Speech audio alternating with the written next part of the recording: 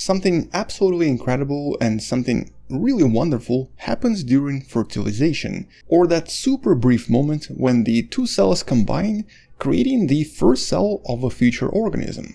This is literally how you and I were made as well. And a few years ago, the scientists discovered that during that moment of fertilization, something absolutely mind-blowing happens inside the cell. Hello wonderful person, today we're going to be talking about exactly what happens. Something that was recently reanalyzed and discovered in some of the other animals as well. But let me actually just show you what I mean, and show you how incredible it looks. Here's what happens when the cell is fertilized and becomes the first cell of the organism. There's a beautiful firework, a beautiful explosion that seems to permeate the cell. The firework that's been detected and visible in a lot of different organisms in a lot of different cells. The unusual firework that's sometimes referred to as the embryo flash. You just saw one right here and you're about to see a few more as each of these cells is fertilized. Now this unusual event usually only lasts a few seconds, but it's extremely explosive and it's actually visible if you were to look at this using fluorescent microscope. Now, what you're actually looking at is an explosion of various metals. Specifically, the scientists believe that it's an explosion of zinc and manganese. And this is literally an announcement to all of the other cells around that this cell has been fertilized and is now going to be creating a new organism. It's as if nature itself is celebrating the creation of a new organism. At least that's what it looks like symbolically speaking. In reality, it's a very complex signal that tells other cells that the egg is now closed for business and no one is welcome inside anymore. Well, let's actually discuss exactly what happens and what the scientists have learned from one of the recent studies that as always you can find in the description below. So first of all, a lot of these developmental biology studies and studies on how cells connect, how cells fertilize and what exactly happens with the sperm and the egg have actually originally been done on the organism that you see right here, known as the sea urchin. Because the eggs and the sperm of sea urchins are actually quite large and also quite easily visible, a lot of the studies on early development were actually done in these organisms. Later on, the scientists also started using some of the other cells, such as the cells from mice for example, and some of the other organisms as well. But in modern biology, scientists actually hope to use human cells, but usually it's ethically extremely difficult. This video, however, is from a human cell and this is from a study from back in 2016. You can learn more about this in the link in the description below. And so the scientists were actually trying to figure out, do all organisms have these, or do only some organisms, specifically more advanced ones? Now they've discovered that, for the most part, a lot of complex animals seem to have this as well. For example, eggs from the cows and eggs from different types of monkeys also exhibited this as well. But more primitive organisms did not seem to have this. And so the scientists were really trying to figure out, so first of all, I guess when exactly did this start, evolutionary speaking, and would a more primitive organism, such as for example a frog, have this as well? And so in this study they decided to use the eggs from the African clawed frog.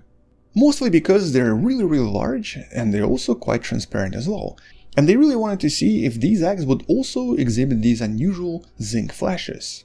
And just as you can imagine, by observing these eggs over and over, they were able to detect zinc and manganese flash coming from these eggs as well. And what this implies is that, well, first of all, this unusual event seems to happen in other animals that are less primitive, specifically in animals that are separated from us by about 300 million years of evolution, which also implies that this is not a newly developed mechanism. It's something that very likely existed for a very long time, and also very likely exists in a lot of different organisms that possess sperm and egg. But I guess it still doesn't really explain to you what all of this is for and why exactly the cells go through this unusual firework-like celebration. Now I'm calling this a celebration just because it looks like a firework, but in reality this is a very interesting and somewhat simple yet somewhat intriguing signaling system. And here's sort of how all of this works. So we know that when it comes to fertilization, there are at least three major steps before the egg becomes fertilized. The first step is for the egg to actually announce their presence to sperm and to somehow attract them. This is usually done through the method known as chemotaxis. A certain type of a protein released by the egg attracts the sperm and kind of guides it to the location of the egg. And for the more complex organisms, if you were to look at the structure of the sperm, the head of the sperm contains the structure known as the acrosome.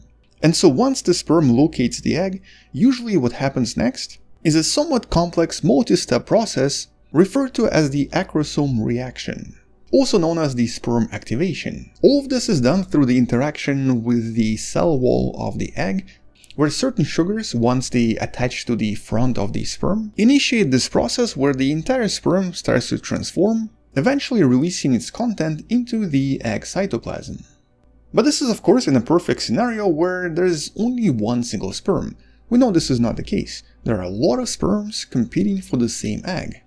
And so something needs to happen in order for a single sperm to attach to a single egg. And so during this acrosome reaction, the egg essentially activates.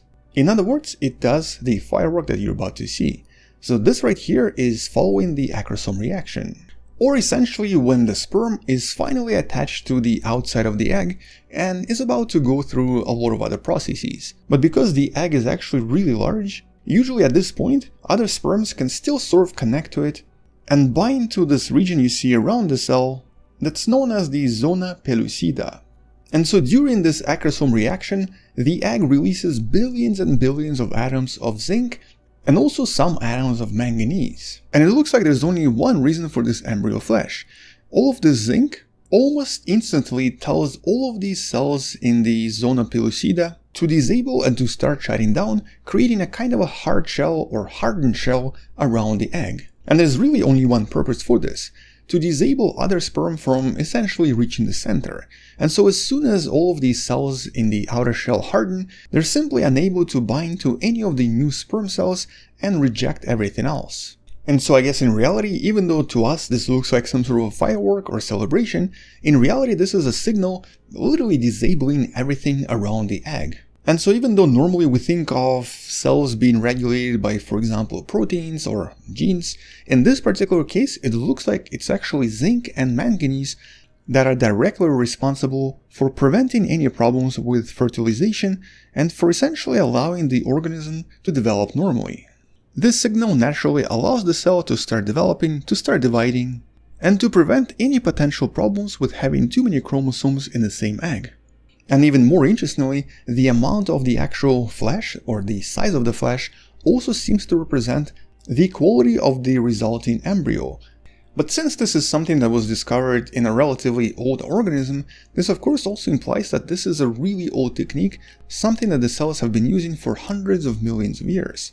And so the fact that our cells use this mechanism of using metals to signal each other is definitely something very intriguing and something that might actually lead to some new discoveries in the future. For now though, honestly, this is definitely one of the coolest things I've seen when it comes to cells and especially human cells and also is a great reminder of how life over time has found solutions to a lot of different problems, with some solutions being really simple, simple metals released by a cell in order to completely deactivate different other cells and in order to prevent problems from happening.